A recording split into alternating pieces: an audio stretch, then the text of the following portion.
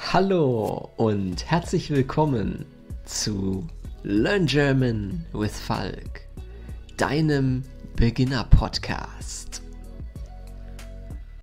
Episode 78 Dialekte in Deutschland. Bevor die Episode startet, noch einmal für dich die Information. Du kannst ab sofort auf meinem YouTube-Channel Mitglied werden und tolle Vorteile genießen. Vielen Dank für deine Unterstützung und viel Spaß jetzt mit der Episode.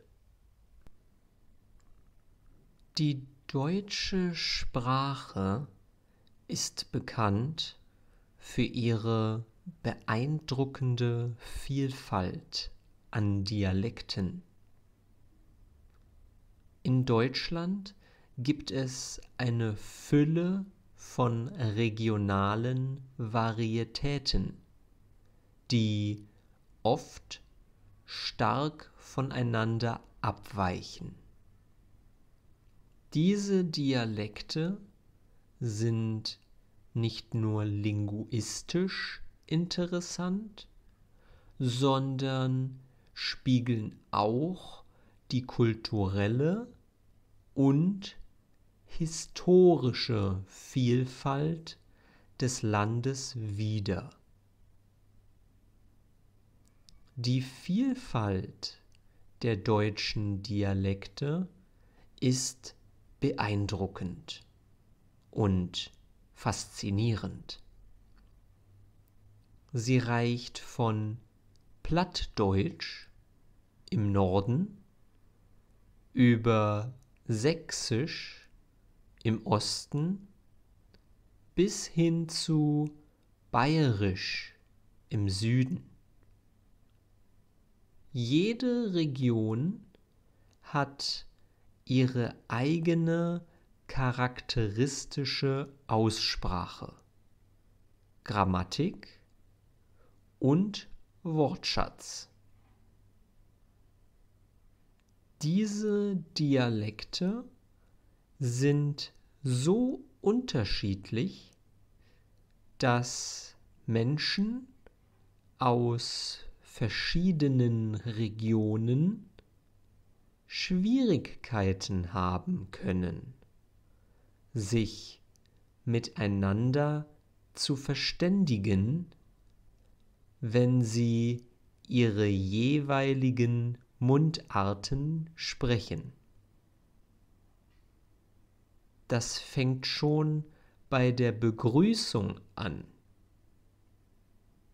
Während man in Bayern für Hallo auch Servus sagt, begrüßen sich die Menschen in Norddeutschland mit einem kurzen Moin. In Berlin dagegen kannst du einfach nur Tag sagen. Die Dialekte in Deutschland haben tief verwurzelte historische Wurzeln. Während des Mittelalters bestand das Gebiet, das heute Deutschland ist, aus zahlreichen kleinen Herrschaftsgebieten und Fürstentümern. Jede dieser Regionen entwickelte ihre eigenen Dialekte, die stark von den Nachbarregionen beeinflusst wurden. Dies führte zu einer breiten Palette von Dialekten, die bis heute überlebt haben. Ein weiterer wichtiger historischer Einfluss auf die deutschen Dialekte war die langjährige politische Zersplitterung des Landes. So entstanden zum Beispiel das Schwäbische in Schwaben und das Sächsische in Sachsen. In Nordfriesland findet man sogar das Nordfriesische, das mit einem eigenen Wortschatz, wie zum Beispiel Hüs, was Haus bedeutet, aufwartet. Die Dialekte sind nicht nur eine linguistische Besonderheit, sondern auch ein wichtiger Bestandteil der regionalen Identität in Deutschland. Die Menschen in verschiedenen Regionen fühlen eine enge Verbindung zu ihrer Mundart und verwenden sie oft stolz im Alltag. Dies trägt zur Erhaltung und Pflege der Dialekte bei. Ein Beispiel hierfür ist das Ruhrdeutsche im Ruhrgebiet, wo Worte wie Bude, was Geschäft bedeutet, und Pott, was Topf bedeutet, Teil des täglichen Vokabulars sind. In Hessen hingegen hört man oft Bembel für den traditionellen Apfelweinkrug. Die Dialekte spielen auch in der Literatur und Kunst eine Rolle. Viele Dichter und Schriftsteller haben die Dialekte in ihren Werken verwendet, um die regionale Atmosphäre und Kultur einzufangen. Trotz ihrer kulturellen Bedeutung stehen die deutschen Dialekte heute vor Herausforderungen. Die Globalisierung und die Mobilität der Menschen führen dazu, dass in vielen Regionen Hochdeutsch, also die Standardvarietät der deutschen Sprache immer mehr an Bedeutung gewinnt. Dies kann dazu führen, dass Dialekte in der jüngeren Generation weniger gesprochen und langsam verdrängt werden. Ein Beispiel hierfür ist die Verwendung von Auto anstelle des bayerischen Wortes Wagen in vielen Teilen Deutschlands.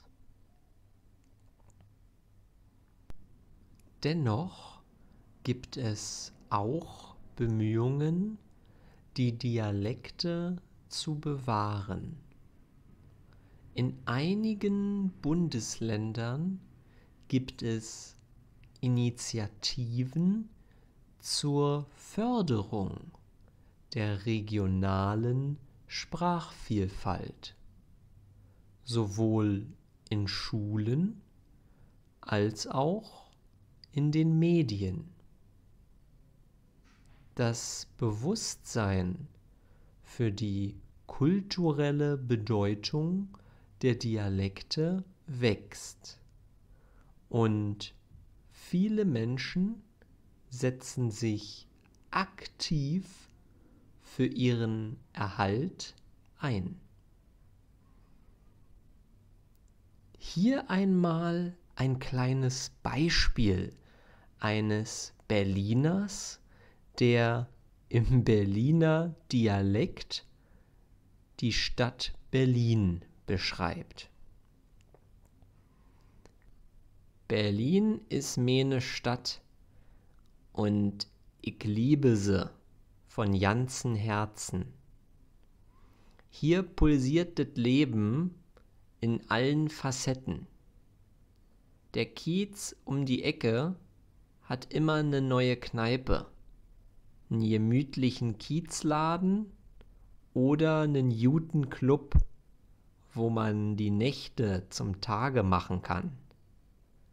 Die Geschichte von dieser Stadt ist überall präsent. Von die Überreste von die Mauer bis zu den prächtigen Museen auf die Museumsinsel. Die Vielfalt von die Leute, die hier wohnen, ist der Hammer. Und ich schätze die Offenheit und Toleranz der Menschen. In Berlin findet man immer was Neues. Und hast du den Berliner Dialekt gut verstanden? Oder war es sehr schwer? Gibt es in deiner Heimat auch viele Dialekte? Welche Dialekte kannst du sprechen? Schreibe deine Erfahrungen in die Kommentare. Neue Vokabeln. Vielfalt. Diversity. Widerspiegeln. To reflect. Schwierigkeiten. Difficulties. Sich verständigen. To communicate. Historische Wurzeln. Historical roots. Überleben. To survive. Beeinflusst. Influenced. Alltag. Everyday life. Schriftsteller. Writer. Förderung. Promotion beitragen zu. Contribute to.